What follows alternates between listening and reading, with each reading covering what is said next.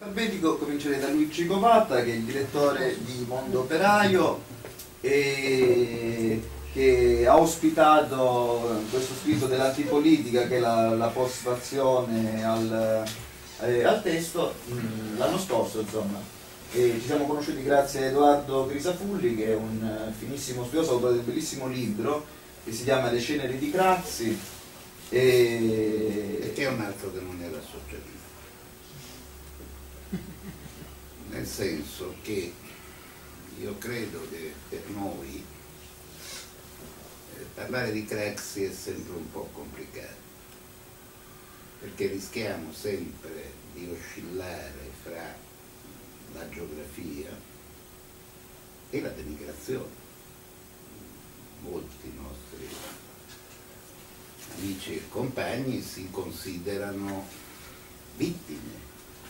degli errori di Craxi che ci sono stati.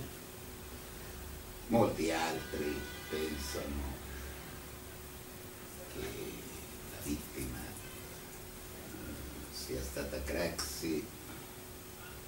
e tutti noi con lui per colpa delle forze oscure della rivoluzione in agguato eh, e quindi non, non è stato facile nel corso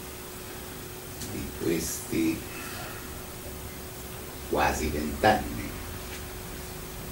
di seconda repubblica, ricordo a me stesso quel fascismo durato vent'anni, però trovò un suo ubico system politico istituzionale eh, dopo qualche anno dall'ascesa al potere di Mussolini, questi invece vent'anni buttati, questo è un altro discorso. E quindi io ho trovato mm,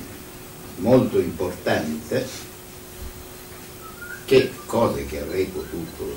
scrivere io con minore credibilità le avessi scritte tu anche perché mi hanno fatto tant'è vero che quando poi mi sono trovato a dover eh, fare un numero della rivista sul decennale della morte, non a caso ho scelto di trascrivere solo non socialisti, da, da Giulio Stapelli a Maestro Galli della Loggia, da Tito Fulli a Piero Craveri, da Frank Cimini ad altri, nessun socialista proprio per ricollocare la figura di Craxi e del socialismo italiano nella storia di questo paese.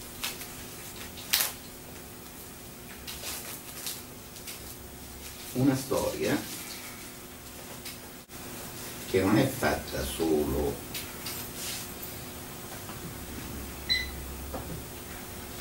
dai protagonisti politici nel bene e nel male. Pensi diceva prima, andando in cerca dell'assassino, eh, i comunisti che non stando stessa, nello stesso ordine di idee si potrebbe anche ricordare quello che all'epoca fecero i fascisti, quello che all'epoca fecero quel signore che andò col cappio nell'aula di Montecitorio e spiace che non venne sanzionato come il Presidente della Camera avrebbe dovuto fare. E questo è un paese di persone di dubbia legalità che quando trova l'opportunità di avere un capo o più capi espiatori per, eh, recuper, per eh, purificarsi, lo fa molto volentieri. E il problema di eh, incivilire questo paese che in questi giorni sfoglia avidamente le veline che sotto forma di intercettazioni eh, vengono diffuse sui giornali. Ai miei tempi, dopo la strage di Piazza Fontana, ci fu un giornalista del Corriere della Sera che venne licenziato perché pubblicava le veline della questura. Adesso le veline della procura fanno eh, volare le vendite. Ma questo è un altro discorso. Dicevo, questo popolo che è indifferente alla gravità delle violazioni di legalità che vive indifferentemente a Napoli, a Palermo, Calabria, in situazioni e che oramai ha, ridotto a bene di consumo anche l'indignazione quotidiana delle case di Scaiola, quelle di Incalza, quelle di non so chi, io sto in affitto, non intendo il mercato immobiliare.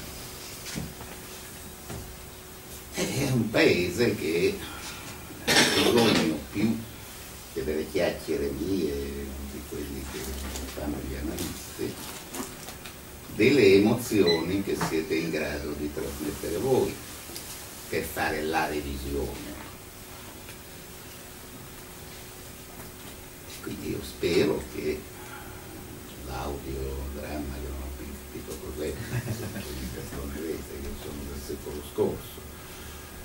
Il radiodramma, versione radio diciamo. Il libro, le, le repliche. le repliche che mi auguro saranno numerose e frequentate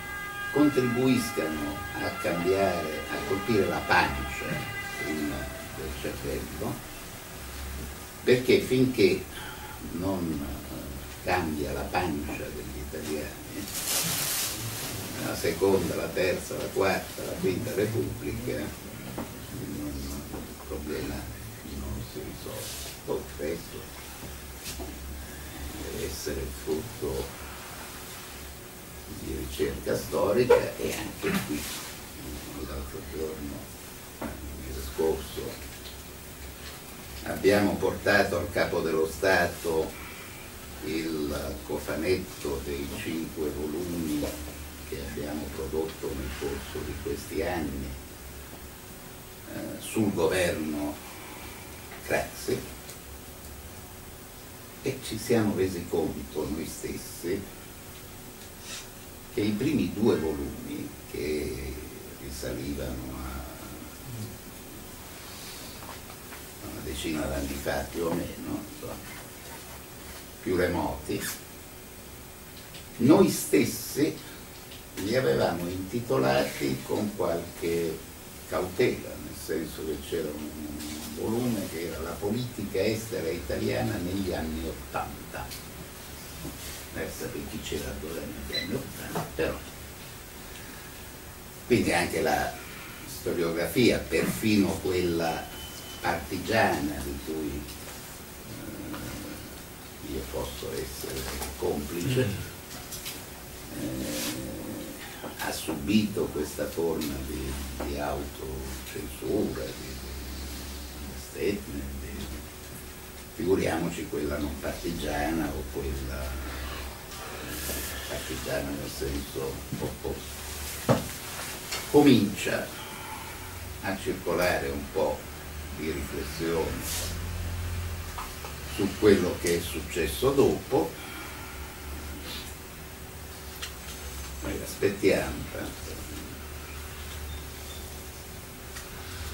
l'aspettativa, anche senza avere un'aspettativa di vita troppo lunga, la resa dei conti di quello che è successo dopo non è lontana, nel senso mi sembra che uh, la geometrica potenza del bipolarismo italiano si stia squagliando come c'era sotto la luce